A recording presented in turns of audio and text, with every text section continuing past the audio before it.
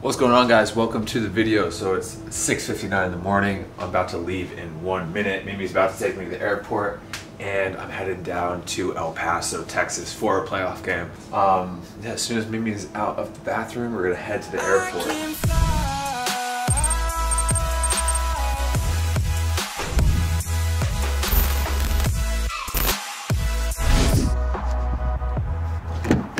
Unfortunately, there's not that many uh, direct flights from Tulsa to other cities, so we can't just fly straight from Tulsa to El Paso. That would be just probably a very easy two-hour flight, three-hour flight. Um, unfortunately, we have to fly into Dallas, have like a two-hour layover, and then fly into El Paso. So in total, we should have like a, a six, seven-hour travel day, which isn't too bad, but uh, it's just frustrating because El Paso is really not that far, but it's going to be a longer day because of it.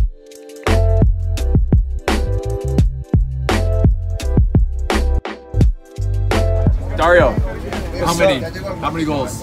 You wanna post in your, in your social media Yes. or saying the last time? No, no, no. I'm gonna post. Two tomorrow. Okay, two tomorrow. Let's get it. How many for you? Zero. No, I'm Nope. definitely getting more goals and assists than you in that one game tomorrow. no, it's alright. I'll, I'll just start. I'll start. Just shut up, your dairy man. Shut up.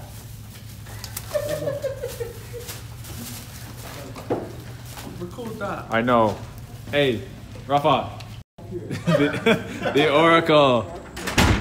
Okay, just got into the hotel in El Paso.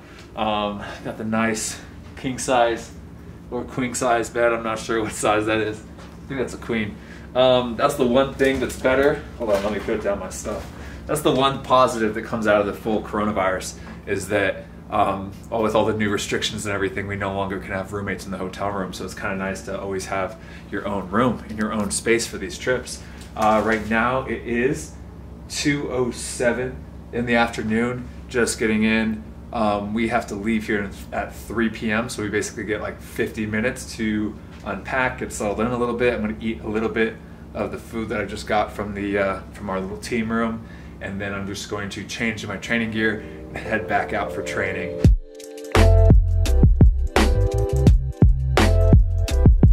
Okay, it is 2.50. I'm just getting ready to head down to the lobby to leave for our training session. It's to be a very typical pregame training, which is kind of pretty much always the same. We do rondos, we do a warm up, maybe we do like some sort of possession drill, and then we go into more of a tactical with our starting lineup and kind of work on building out the back or front press or whatever we kind of really want to um, focus on before we head in the game.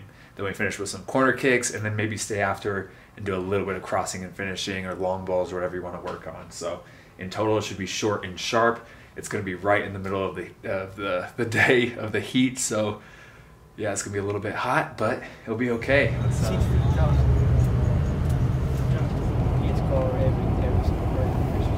What's the matter? Matt Sheldon has a tiny head. Sure as that work. Tomorrow is the big day. it's a big day.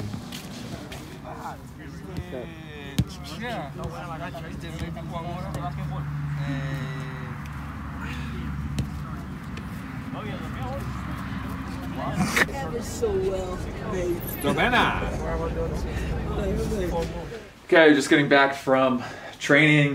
It was hot. It was really hot.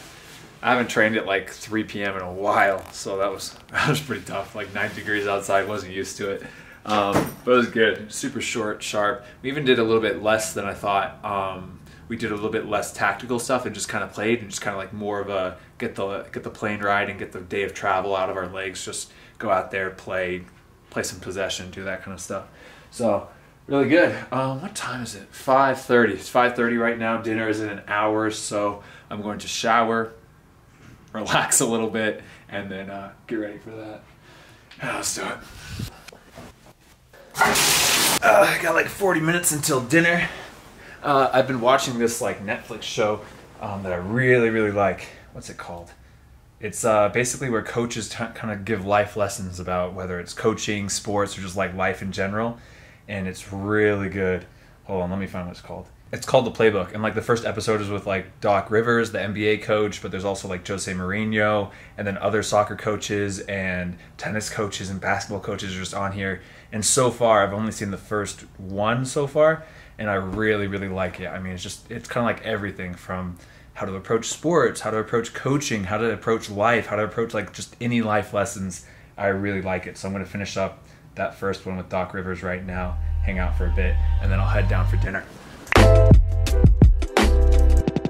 all right, gonna head up to our team room for dinner. No idea what we're having, but I'm starving, so I'm excited. Let's do it. Color. Oh, you're talking about when I season my food. Yeah. Oh, you just put a little salt. Yeah. salt. Lebo, And raisins. what's up? No, don't. Throw some raisins He's in there. salt, he does. He blows, blows fresh breeze on his That's the seasoning. There's blueberries in here. Okay, so we had dinner. It was a really good dinner, actually. Had a, a nice soup, had some salad, had like pasta with a marinara sauce, like a salmon fillet, chicken fillet, asparagus, broccoli, sweet potatoes, and then like a little peanut butter and jelly uh, if we wanted it as like extra food as well. So pretty much ate all of that. I'm pretty stuffed right now, but feeling good. Um, and then afterwards, I kind of went up to Callum's room, hung out with Callum for a little bit, just talked, and then uh, now I'm back in my room, and it's eight o'clock, eight o'clock at night. Uh, I'm honestly feeling a little tired because this is like we're an hour behind, so it's like nine o'clock for me back in Tulsa, um, which is still sad. I'm I'm like 80 years old, and to top that off, to make it even more more funny, um, I'm also drinking my little herbal tea right now with no caffeine at all. So drinking some tea, and then a thing that I've been doing lately as well, just to try to optimize my sleep and my performance as much as I possibly can. I'm uh, I'm reading. So I picked up uh, this book Dune, which is like kind of like a sci-fi space book, which is right up my alley, which I love. I'm really liking it. But I've been trying to read like every night for like the hour before I go to bed because usually like I'm a, a pretty typical person. I watch TV, I'm on my phone or on my on my computer and I'm doing that up until the minute I go to bed and it's just not ideal. So I've been trying to read and like get my eyes away from a screen just constantly, especially as I'm headed to bed. But anyway, I'll read for like an hour, I'll drink my herbal tea, and then I'll probably go to bed around 9 p.m. El Paso time.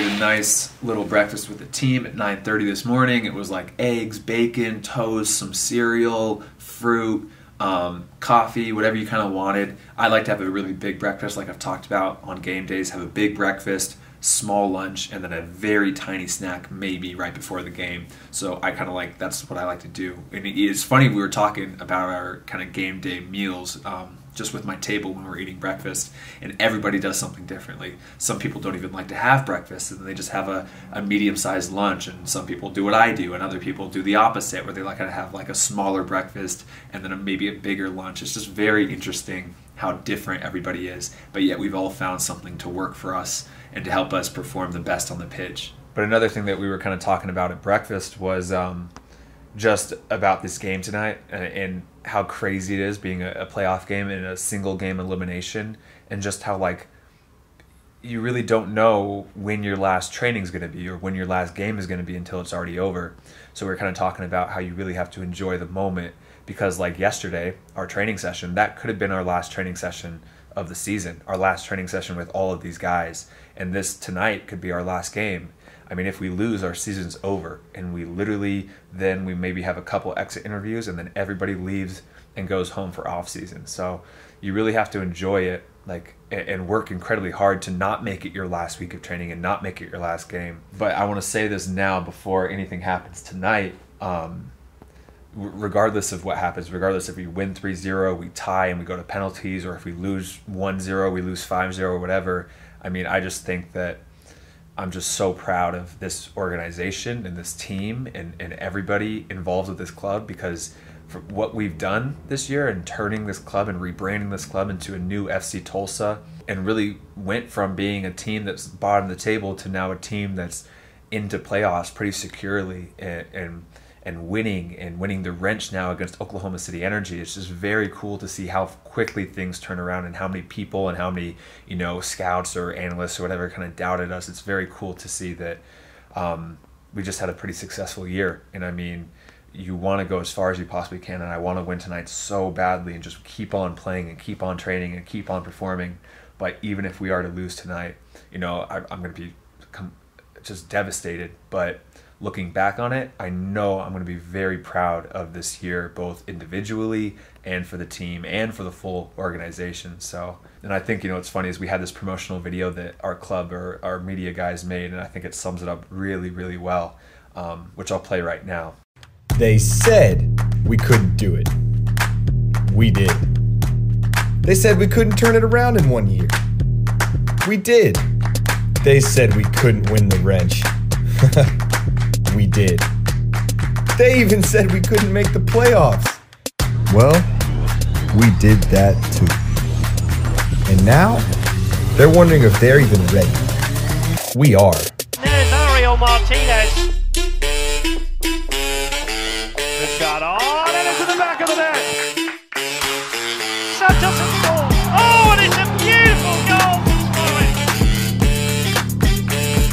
Back across the goal, and there's a tap in for Dario Suarez.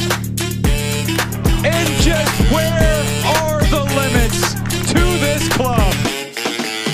that message of the video, even though it's just like a promotional video to get hype for this this playoff game, I mean, it's so important that message of like, you know, everybody said that we're going to be the same Tulsa team and we're not going to change and there's no way these guys are going to make playoffs and they're not going to win against their rivals in the derby matches. It's just very cool to see that we proved a lot of people wrong. And I think that this year is a very pivotal year and hopefully this club continues to build and build and build for the next you know next decade. And it's just going to be exciting to see. So yeah pretty cool. I'm just so excited for tonight. Um, i'm just going to chill for a little bit longer. Unfortunately now i mean it's only like 11 o'clock in the morning so i got a long time before kickoff but i'm just going to try to distract myself with some netflix shows read a little bit hang out and then try not to try not to get too excited too early Okay, it's like 2:25 right now. I'm just going to head up to the team room because we have a little team meeting and team lunch. Um, the team meeting is basically just film. We're just going to watch uh, like El Paso play, kind of go over any like final tactical things that we want to talk about. Even though this entire week we've been kind of like talking about them, watching the film, um, working on our formations and our pressing and everything. But this is kind of like the final reminder of like to ingrain like the the little last talking points before we before we play El Paso. Um, shouldn't take too long. Usually about 30 minutes of watching film and talking and discussing things, and then uh, about a 30 minute lunch, and then we're back up here to uh, to chill some more before the uh, before the game starts. So I'm gonna head out right now. Ah, my mask. Forgot my mask. Okay, so it is five o'clock, which means I'm gonna hop in the shower, shave, start to get ready, get all cleaned up, and then I'll put on my travel gear, pack my bag, head down to the lobby, and then go off to uh, off to the stadium to play. Um, I'm not gonna lie, I've had like butterflies this whole day, pretty much off and on. Kind of like it comes and goes. I start thinking about the game or something, and then I just start getting that that pit in my stomach, and it's a weird balance of of kind of like accepting that and, and, using the butterflies and like the nervousness and the anxiousness to kind of motivate you to have a good game and to really push yourself when you play but at the same time calming down taking a deep breath and, and not getting too nervous where I'm going to have like a bad performance because of it. So it's a weird, a weird feeling, but yeah, it's exciting. All right, I'm gonna hop in the shower and then I'll head down.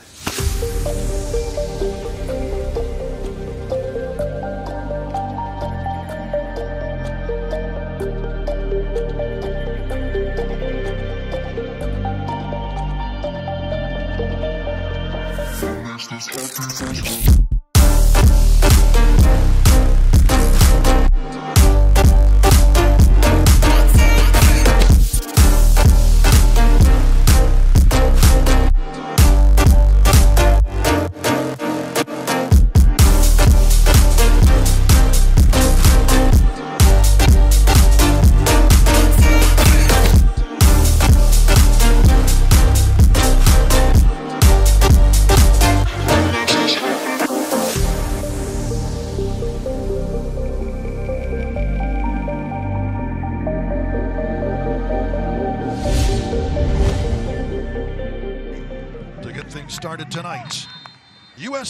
Championship playoff soccer back in El Paso.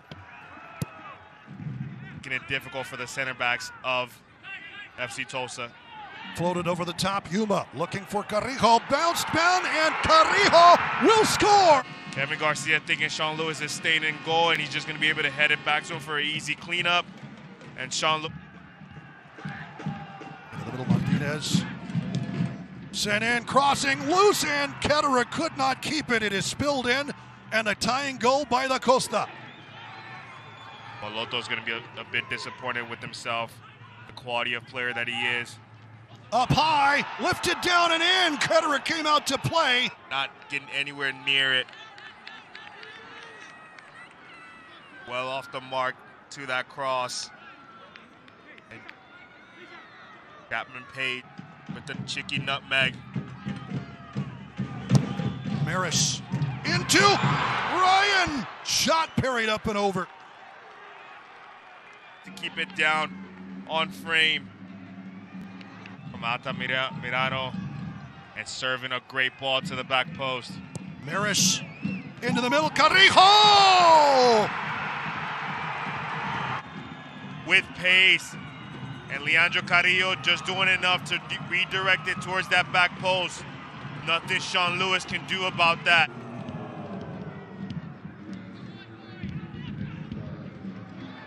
Nice feed.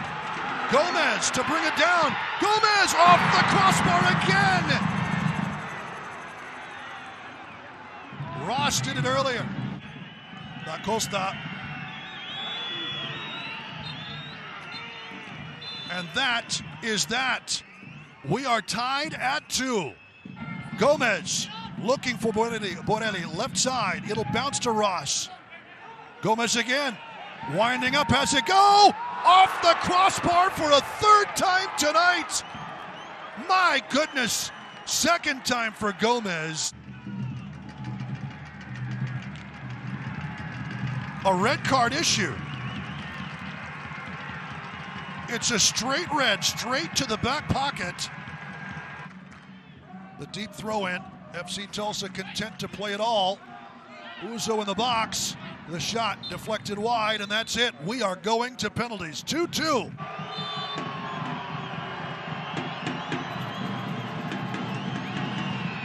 Parried away. Ketterer stops it. And send Locomotive FC through to the next round. He can! Locomotive FC will host New Mexico United. Redemption for Logan Ketterer.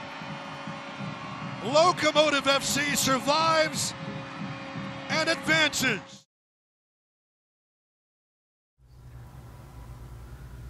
that was a, a pretty tough game. It's a tough it's a tough way to lose.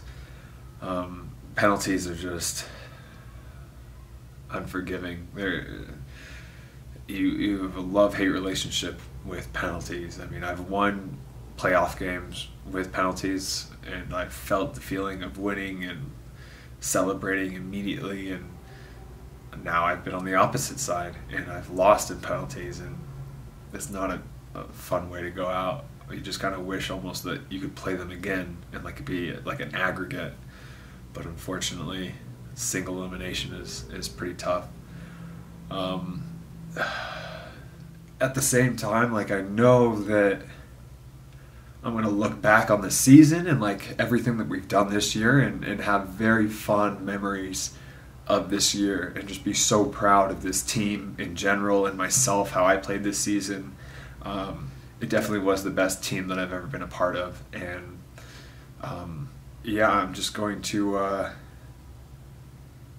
really cherish um, this whole year. I mean, every year has its ups and downs. I mean, this year especially with the coronavirus and all the adversity that come along with that. But yeah, for the most part, this was a very, very good year and a good season. I'm just so proud of um, all the guys and and everybody. Even with this last game, I mean, that kind of summed it up. Just never quitting, always pushing, continue to fight, even a man down. Just um, yeah, I'm just really proud. I, I don't know what else to say to be honest. It's a it's a weird feeling because I mean, so much of the sadness that I'm feeling um, after the game in the locker room, and then right now is is honestly because you just don't want it to end. You just want to keep showing up to team training. You want to keep on being with the guys. You want to keep on competing and keep on winning games together. So I think that's why.